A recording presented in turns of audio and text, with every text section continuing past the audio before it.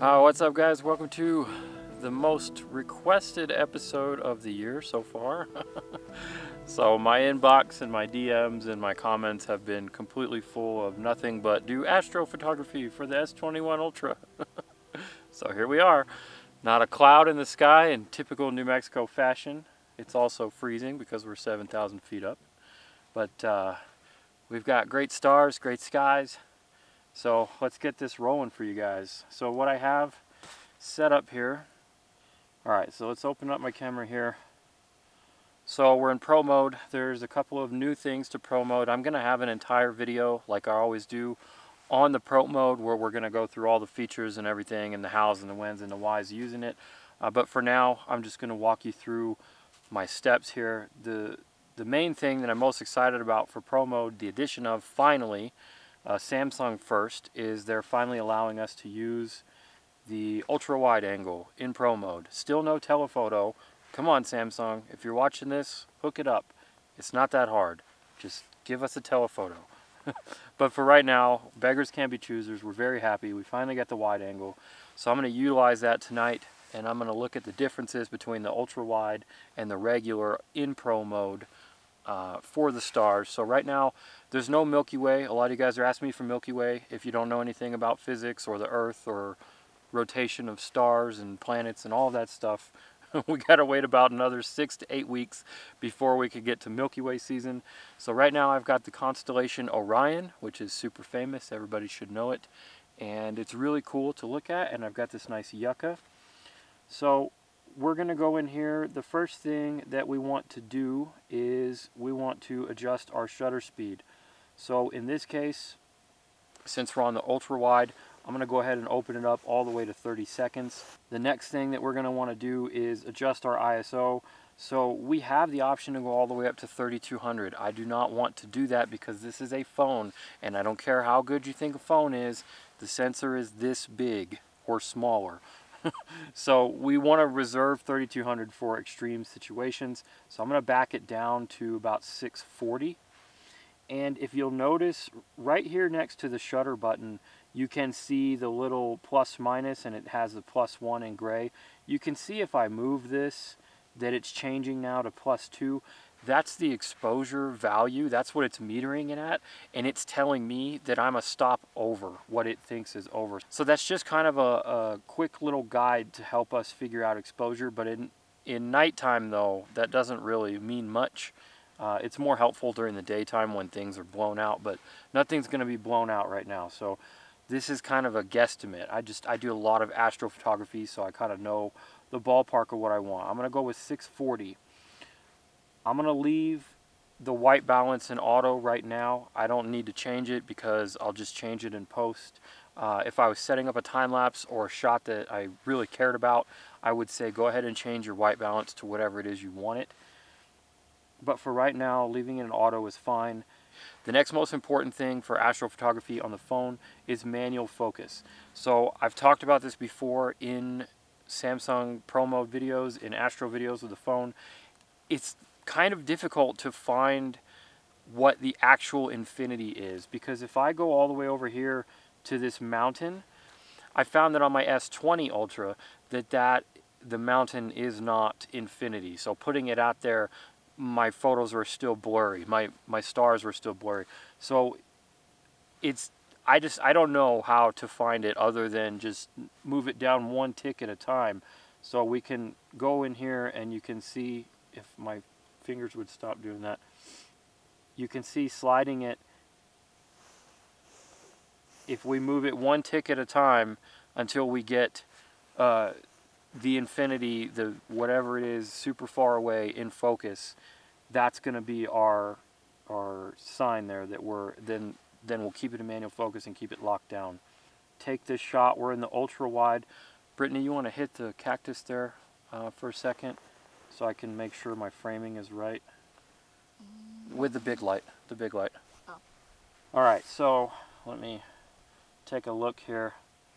So what we're seeing right now is we're seeing the JPEG version. So the Samsung phones, there's no way to get it to do RAW only.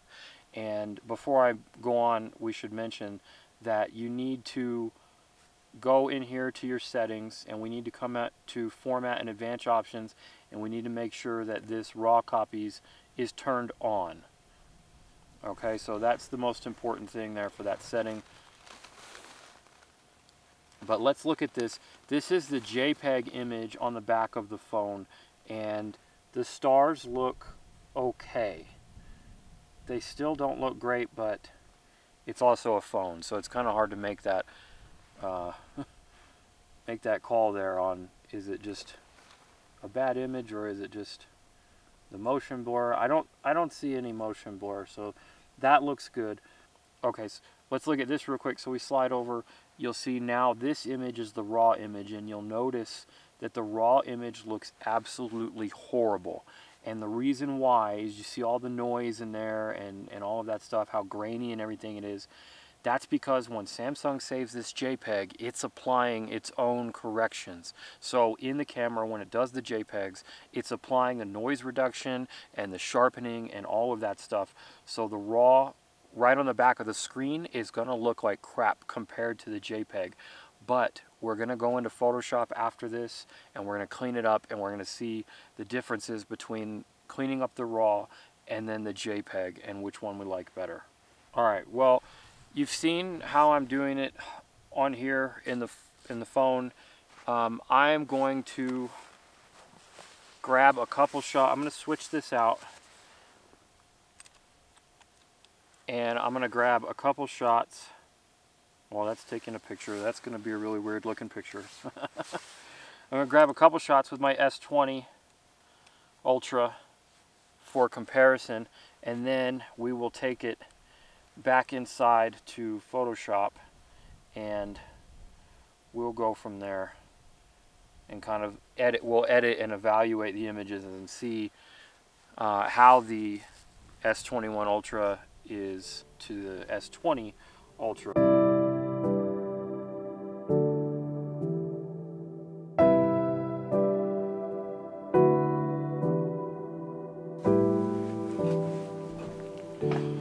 All right, so it's the next morning, got our green tea ready.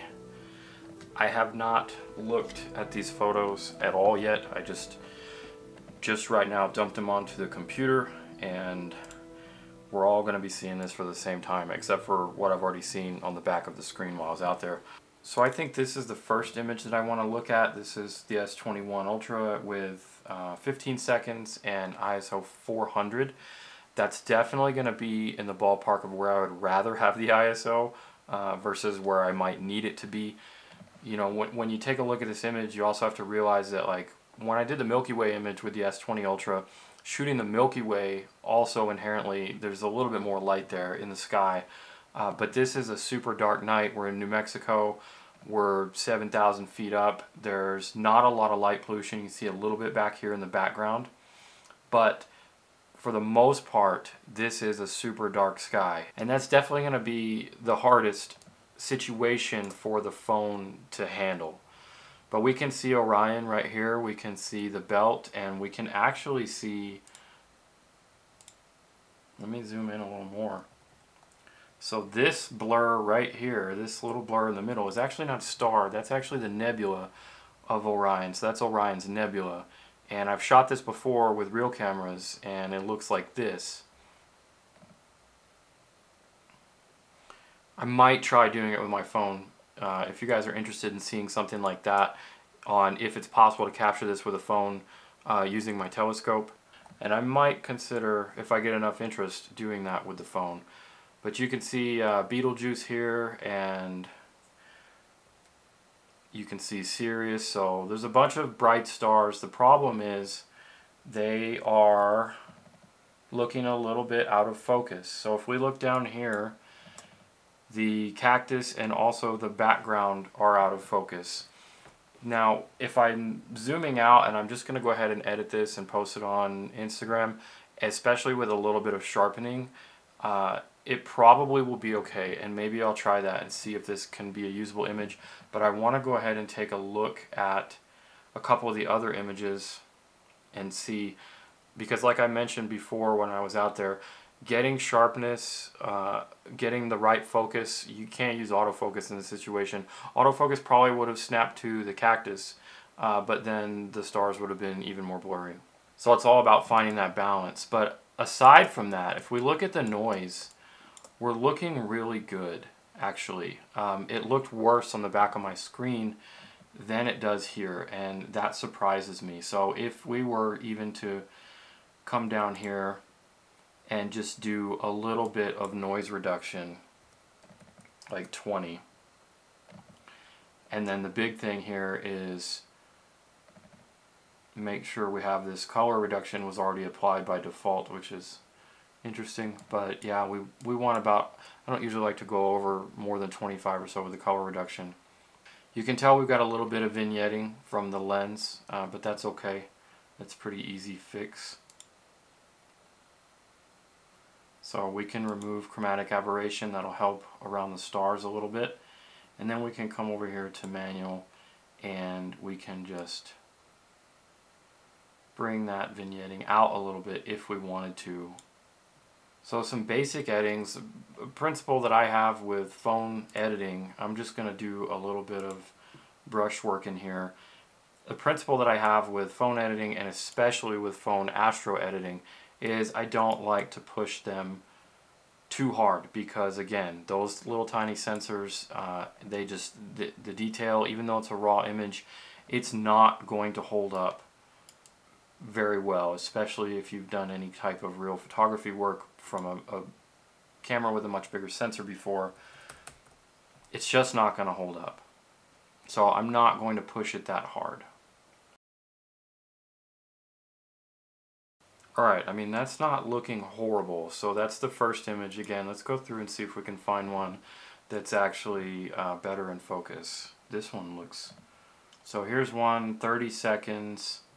So now we're going to start seeing, we see that motion blur. That's the motion blur that we're seeing from the rotation of the Earth to the stars respectively. And that's because we exceeded uh, the shutter length limit. It should have been more like 25 or so. But if we look at stuff that's not moving, uh, that's looking maybe about the same actually. So here's the ultra wide angle in pro mode, which uh, is amazing that they finally did that. Now let's, the problem is it's a little too wide for my composition. I, I don't like the composition anymore, but I can potentially fix that. So this is sharper now. The cactus is sharper and the background is a little bit sharper. This is at, uh, so it's interesting, look at this, the f-stop for the ultra wide and pro mode is f2.2, so that's something that uh, I didn't really realize or think about, so that means there's less light coming in um, that compared to the main sensor and then also where I had to bump it up to ISO 1600 right here so you can see a lot of that noise. Let's see if we can clean it up just a hair.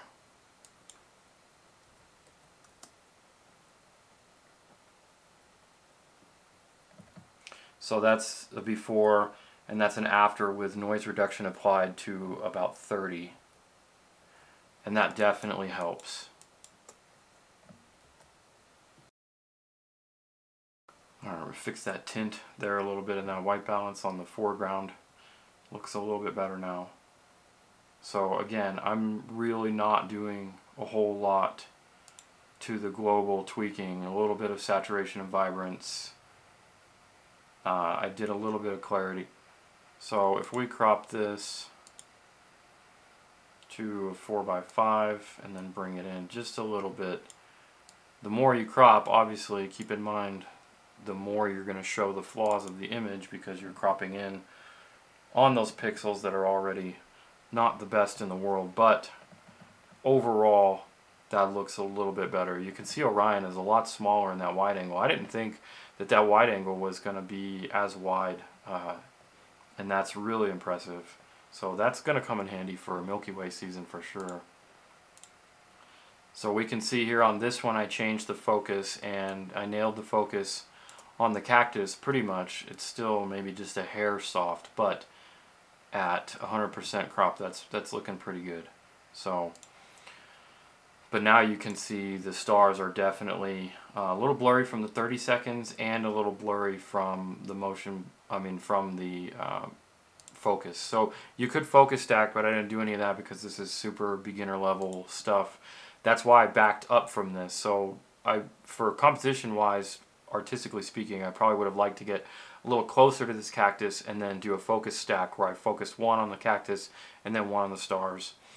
Uh, but I didn't do that. So I backed up so that Infinity would be more likely to get um, everything in focus in one shot.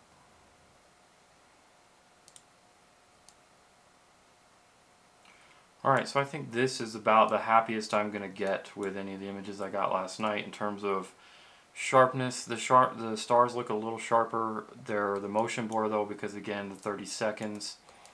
So you can see Orion's nebula right there. You can almost see the nebular clouds there, the dust clouds. Uh, but let's just back out of that. So again, when we're just looking at this in regular, I'm just going to go ahead and, so when we're just looking at this backed out and not zoomed in, I, I do think that it looks okay. And I'm going to go with uh, this being the best I could get.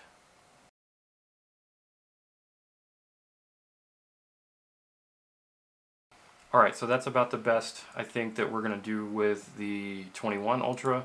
So let's back out and take a look at the S20 Ultra.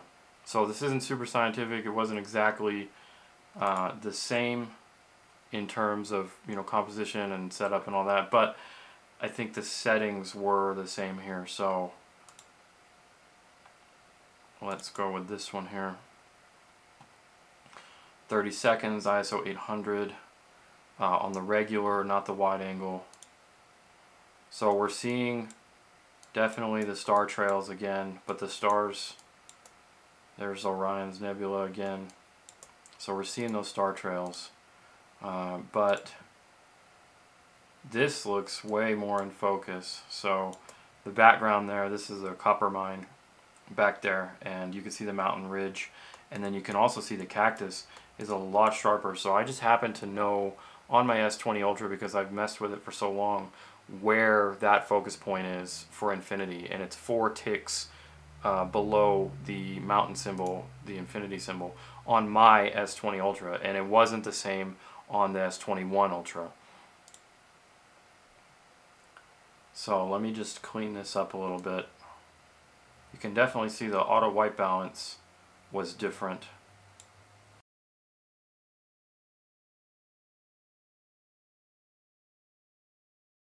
Alright, so here we can see the two. We have the S21 Ultra on the left and the S20 Ultra on the right.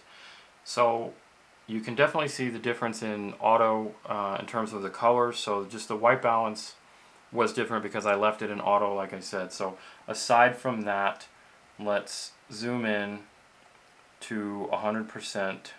So this is the star Sirius. This is a great uh, reference star for a lot of things in astronomy and astrophotography.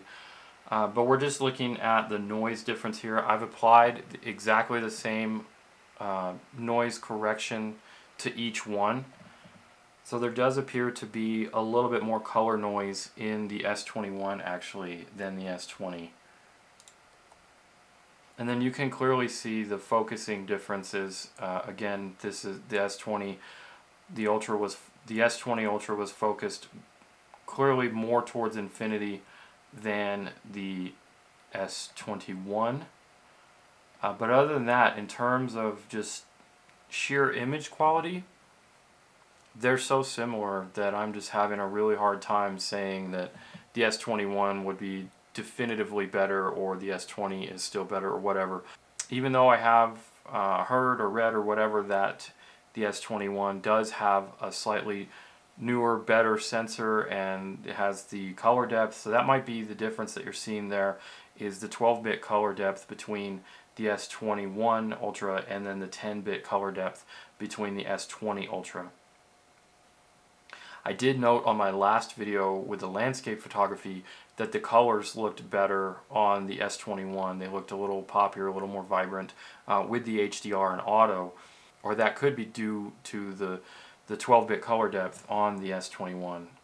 So just for the heck of it, since we did that, let's go look at, since we were out there, let's go look at the S21. I took a couple of shots in a darker part of the sky towards the, the, uh, the northwestern part of the Milky Way.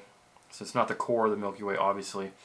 But I just wanted to see what, if we push the ISO super hard, uh, what we're looking at. So here is 30 seconds ISO 1600 and it can go up to 3200 so it's not even the highest it can go and this just looks absolutely atrocious this just looks for me this is completely unusable so we're also seeing that 30 second limitation there. We're seeing a little bit of a, a blur due to the motion blur but I don't even want to bother trying to clean this up.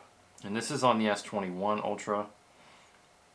And again though we've got that that ultra wide angle is the f2.2 versus the uh, f1.8 on the main sensor. So I would say if you can, probably if you want to get the most out of your sensor and the light and everything, stick to the main sensor and then if you really wanted maybe throw a like a moment lens on there like a wide angle lens uh, I do that a lot for pro mode stuff because traditionally Samsung hasn't allowed us to use the other lenses and the main sensor on the Samsung phones is always the best anyways. So we're looking at this image. This is ISO 3200 and this is obviously looking even worse. So that is a galaxy actually right there. Uh, that might be Andromeda. Yeah, that is Andromeda. So that's pretty cool and interesting. So you can barely see that little blob, that noisy little ugly blob is Andromeda. That's the closest galaxy to us, by the way, to the Milky Way. It will eventually collide with us. Uh, but you can see down here, but you can see down here uh, the color fringing and the noise from it just being broken, from being 3200, from being too high, pushed too hard. And there is not a whole lot you can do to fix that. I mean, even if we come down here to the detail and we crank up this noise reduction, it's just going to make everything blurry and then even if we were to crank up the color noise reduction uh, well past what I would ever do uh, it, there's no fixing that so you'd have to desaturate the purples paint that out crop it out whatever but there's just there's not a lot of saving that and you can see the banding uh, and everything up here too. Uh, that's you see all that color banding. That's just that's broken and that would never never fly for for me for sure. So by comparison, let's look at the R5. So I shot the R5 in worse conditions in turn or in worse settings. I pumped the ISO up higher than the phones just to give you an idea. And the R5 is not the the best for astro stuff. I would have preferred to use my R6, but I'm filming with it right now and I was filming with it out there. But the R5 is still one of the best cameras in Canon lineup that you can get for astrophotography. Okay, so let's take a look at this image here. So this is the shot with the R5 at the Milky Way, just like the S21 Ultra was. So I shot this even higher uh, of an ISO at 6400 versus 1600 on the S21 and you can see already Andromeda is way more pronounced. So you can also see that even the noise level at 6400 is uh, much better on the R5 than the S21 at 1600. And of course that's to be expected. This is like a near $4,000 camera with, you know, a $1,000 plus lens on there. So that is to be expected. You can also see a lot more detail in the Milky Way itself. And this is just the raw. I haven't done anything to this image at all. And I'm not going to just for the sake of this video being super long already. So, and then the other image here from the R5. So here we have 1600 ISO, which is again even higher than the uh, Samsung phones were. And we're looking at a much, we have the, the motion blur again because the R5 has such a uh, big pixel density that you need to do a slower shutter speed in order to uh, get the perceived motion blur out of there. So you can see Orion's Nebula a little bit more pronounced there in the R5. But what you'll notice is just a lot less noise in the image than the phone. And again, that's to be expected. I just wanted to throw those out there to show you uh, comparison between a super high end and then how the phones are coming even close to that is just it's pretty impressive. So if you're a beginner and or you have nothing else or you don't want to take your big systems or anything like that, then it is worth noting that it is potentially possible uh, to get some decent images out of this. I'm happy with both of these images in terms of knowing that they came from a phone and also knowing that if I were to share them on just Instagram by itself, uh, they would look absolutely fine for most people. It's when you really start comparing them to other things like the big mirrorless cameras and such that you're going to start seeing the difference and it's going to hurt. so like I said before, I will be doing uh, some Milky Way stuff and some more Astro stuff with the S21 and it was interesting to see you know the stuff about the changes with the uh, the aperture for, for the ultra wide versus the uh, regular sensor, stuff like that. So I would say, you know, if you if you want to take Astro seriously with the phone, then use the main sensor in pro mode. And if you want that wider angle, then get, you know, like a moment lens like I've done in a lot of my other videos. You can check those out. That'll widen it up, but it'll keep it on the main sensor, so you're still keeping that f1.8 versus that f2.0. Definitely, I would not go above you know a thousand or sixteen hundred if you unless it's just absolutely necessary because at that point you're just pushing these phones too hard and also you need to keep in mind your location. So I'm in the middle of New Mexico in southwest New Mexico in the mountains 7,000 feet up. I'm in some of the darkest skies in the entire country. And a lot of people are going to try this at their home and they're going to put the same settings as me and they're going to get white images. And they say they ask me why they get white images all the time. That's because you're probably in a city or you're probably in light pollution or the moon is up or whatever. You need to take all of that into account and understand you might not get dark skies like me based on where we live. Alright, so I'm going to wrap it up there. If you guys have any questions about anything that I did or didn't do uh, with the comparisons there, leave them in the comments below and I will definitely answer them. I will, if I can remember, I'm going to try to go ahead and throw these images up, the raw images, on uh, on my website so that you guys can check them out and kind of pixel pixel peep for yourselves uh, if you really want to dive into the raw images. So there should be a link for that down below. And definitely subscribe to the channel if you haven't already. If you made it this far and you haven't subscribed, you should because I've got new videos every week. I really appreciate you guys watching this whole thing for me and the amount of interest that there's been in this. Like I said, I've had just hundreds and hundreds and hundreds of DMs just flooding me constantly. So I'm going to try to do more of this stuff for you guys. So if you enjoyed it and it helped you out, you should definitely hit that like button for me because that's the best way to help me and the video and the channel out and all of that good stuff.